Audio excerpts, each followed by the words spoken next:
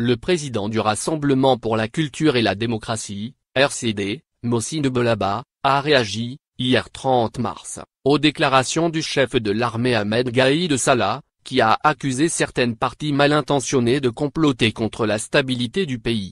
Selon Belaba, il s'agirait du frère de Bouteflika, Saïd Bouteflika, et l'ex-patron du département du renseignement et de la sécurité, Mohamed Medine.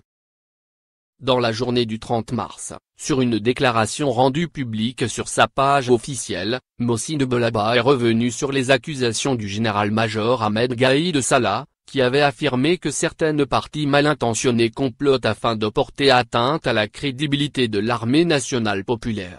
Ces malfaiteurs déjouent et contournent les revendications du peuple. Le président de RCD avait écrit que Gaïd Salah commence à s'énerver. Évoquant la rencontre qui se serait tenue en secret entre ces personnes, Belaba dévoile que cette rencontre s'est tenue à Zeralda et il y avait l'ex-patron du renseignement, Mohamed Medine, dit général Toufik, ainsi que le frère cadet du président de la République, Saïd Bouteflika.